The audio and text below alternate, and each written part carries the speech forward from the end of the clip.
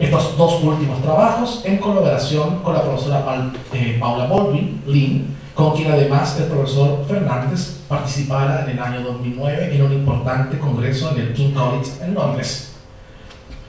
También el profesor ha participado en otras eh, destacadas conferencias y en otros destacados encuentros. Eh, particularmente voy a nombrar dos de sus ponencias.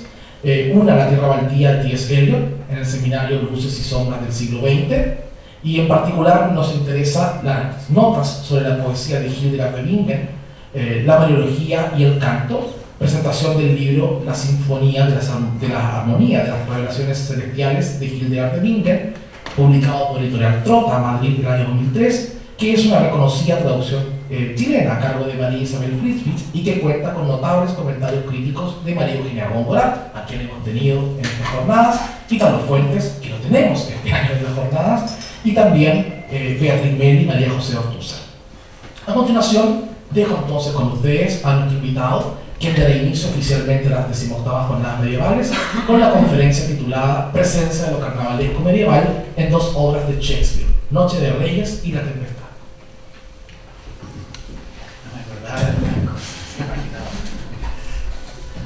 Bien, eh, antes de comenzar, eh, quiero agradecer muy sinceramente a la comisión organizadora de las jornadas medievales y al Instituto de Historia de la Pontificia Universidad Católica de Valparaíso por la honrosa invitación que me hicieran a inaugurar la decimoctava versión de esta jornada. Agradezco también a la Sociedad Chilena de Estudios Medievales y a la Dirección de Asuntos Estudiantiles de la Universidad. Como no soy medievalista, entiendo que este privilegio me fue dado considerándose de paso pertinente el tema de la conferencia, en el marco de la celebración de los 450 años del nacimiento de William Shakespeare, cosa que también debe agradecerse a todos ustedes. Espero estar a la altura de este desafío. De no lograrlo, les ruego con Puck o Robin Goodfellow en Sueño una noche de verano, Gentles, do not reprehend, if you pardon, we will mend, que traducido sería algo así como Gentiles señores, no nos reprendan, si hay perdón, nos enmendaremos. Actitud esta, la del duende, dicho sea de paso, profundamente universitaria. Bien. Como nos enseñó Bastín hace ya mucho tiempo, la visión carnavalesca del mundo medieval quedó profundamente enraizada en la literatura del Renacimiento. Y si bien el teatro no es un género estrictamente literario, exclusivamente literario, quiero decir, en él, dicho enraizamiento se manifestó de manera muy cabal, como propondré para el caso de dos obras del más insigne dramaturgo del periodo, William Shakespeare. Antes de entrar en materia, creo necesario hacer algunas observaciones generales acerca de la risa en Shakespeare, aunque más me gustaría decir alegría. Ciertamente, el dramaturgo cultivó con gran éxito el género cómico, aunque la comedia isabelina hereda en parte aspectos de la tradición clásica, pasando por el sedazo de la comedia del arte italiana, la de Shakespeare tiene rasgos peculiares. Ambientada en lugares exóticos, salvo las alegres casadas de Windsor, o al menos bucólicos, con enredos de identidades, uso de mellizos, sustituciones de género, equívocos producidos por el vestuario, abundante música y un alto lirismo, pero especialmente con la presencia de un bufón o loco, full o chester, de peculiares características. Me detendré aquí un momento.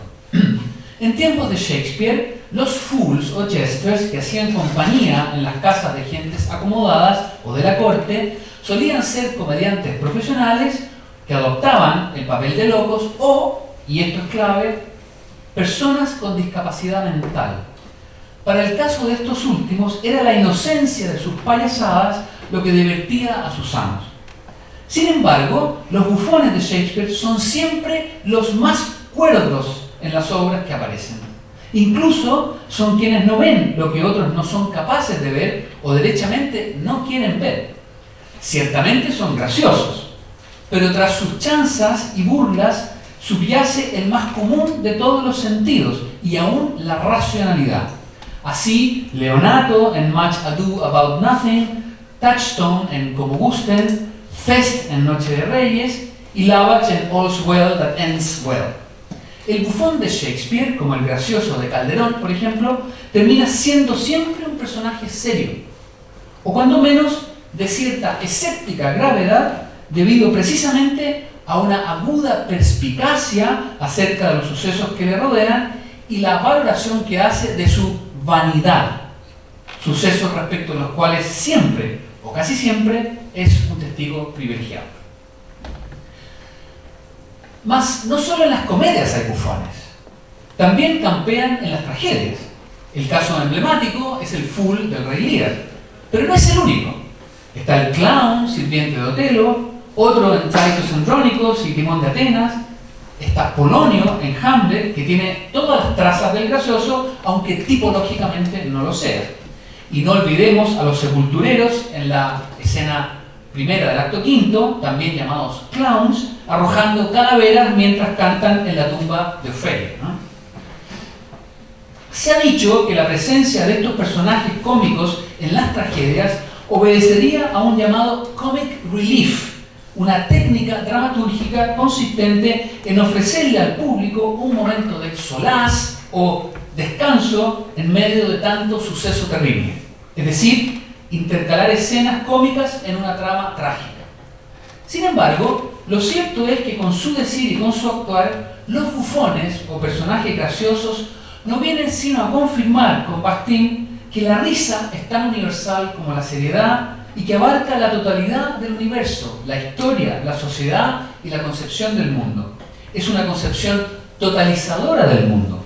Es el aspecto festivo del mundo en todos sus niveles, una especie de revelación a través del juego y de la risa.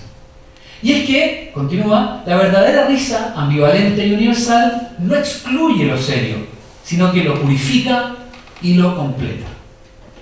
Yo agregaría que estos personajes confirman, además, el sentimiento trágico de la existencia, o, lo que es lo mismo, el sentimiento trágico se entiende de la modernidad, lo trágico en la antigüedad no tiene nada que ver con esto. El sentimiento trágico de la existencia, o lo que es lo mismo, reafirman por oposición, gracias a su desenfadado desprecio de las vanidades de este mundo, el inquebrantable apego a la vida y a la alegría de vivir que late bajo lo que sí es verdadera locura y tragedia para la época isabelina, la miseria humana. Sí, con Bastín de nuevo, la comicidad medieval al desvelar el temor al misterio, al mundo y al poder, descubrió osadamente la verdad del mundo y del poder, se opuso a la mentira, a la adulación y a la hipocresía, la concepción cómica destruyó el poder a través de la boca del bufón, cierra la cita, lo mismo puede decirse de estos personajes en las tragedias de Shakespeare. Confirman la vanidad del poder, la locura del mundo, la vitalidad de lo esencial. Pero y para la obra del dramaturgo hay una tercera dimensión en este asunto que complica todavía más las cosas.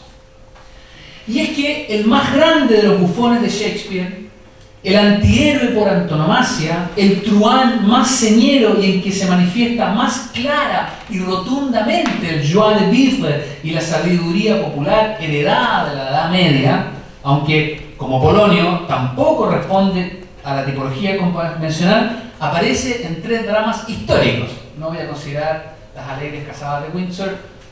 Probablemente el papel fue pedido expresamente por la reina Isabel I que quería ver a este hombre enamorado. Me refiero a Falstaff. Si Hamlet es el más moderno de los personajes de Shakespeare, Falstaff es el más medieval. En él se encarna maravillosamente lo grotesco y lo carnavalesco, en dramas, por lo demás, ambientado justamente en la Edad Media, la alegría y el gozo de la vida. Responde exactamente al tipo bastiniano por su profundo optimismo, su carácter popular y festivo y su estilo épico, no yámbico. El mismo es el mundo al revés, una permanente fiesta de los locos, atiborrada de risa, bellaquería, comida y bebida.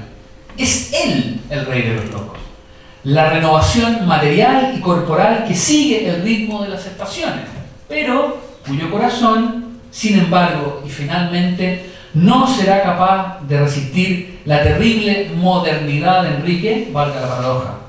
la absolutamente gélida seriedad del miedo. Voy a volver sobre esto hasta el final, hacia el final.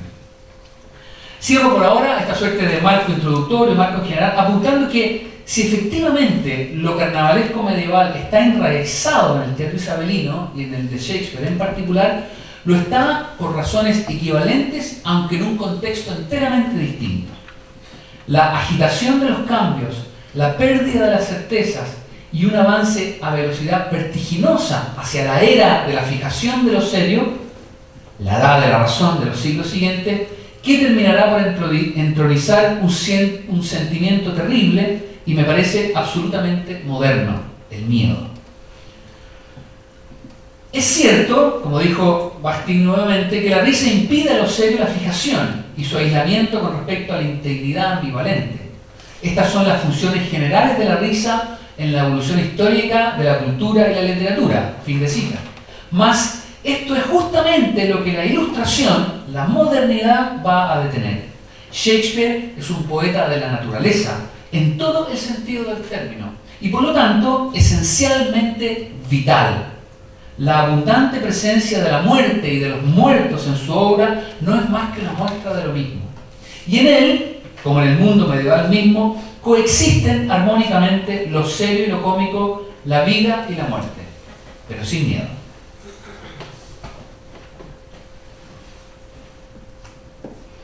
En el título aparece Noche de Rey primero y La Tempestad después, que fue un error mío, es La Tempestad primero y Noche de Rey después. Así que, La Tempestad.